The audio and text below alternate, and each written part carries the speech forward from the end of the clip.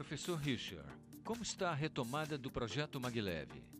O projeto do Maglev foi muito interessante, porque ele acabou se incorporando na história do Covid. Ela infectou o Maglev também. E ele foi para a UTI. Ficou lá incubado. Mas agora, em 2022, nós estamos tirando o Maglev da UTI. E no dia 1 de outubro de 2023, vamos reinaugurá-lo, agora com um veículo produzido industrialmente. Está sendo feito pela Aeromóvel lá do Rio Grande do Sul. Ou seja, vai ser um veículo que, se nós precisarmos dois, três, cem iguais, vai ser possível fazer. E a operação autônoma, não vai mais depender de um piloto. Então ele vai ser o que se chama um APM, Automated People Mover. Estou bastante entusiasmado e otimista com 2023.